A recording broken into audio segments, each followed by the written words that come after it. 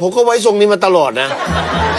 คุณจะเอายังไงเนี่ย ก็อยากได้แฟนหน้าเด็กหน้าหล่อเหมันเกาหลีตอนนี้มันกำลังฮิตเลยนะคุณ บางคนหน้าตาไม่ได้ดีเลย แต่ทรงผมนำพากัดสีหน่อยย้อมสีหน่อยหน้าตาเด็กเลยล่ะคุณไอ้ถ้าพรุ่งนี้ไม่ใช่วันเกิดคุณนะ ผมไม่ตัดเซอร์ไพรส์จริงๆนะ ถ้าตัดปุ๊บฉันจะถ่ายรูปโชว์เพื่อนเลย เออ ฉันมีแฟนเป็นเกาหลีอืม รออยู่ที่นี่นะ เออจ้ะจ้ะจ้ะไม่น่าเกินชั่วโมงหรอกเนาะ รู้แล้ว เออ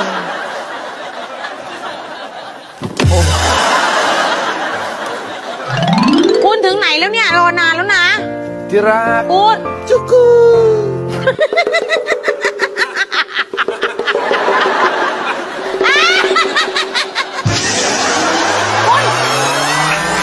คุณกลับบ้านเดี๋ยวขึ้นหัวเราะทำไมเนี่ยกลับบ้านรีบไปไหนเรายังไม่จ่ายค่าไฟเลยไม่จ่ายเดี๋ยวพรุ่งนี้ฉันมาเองคนเดียว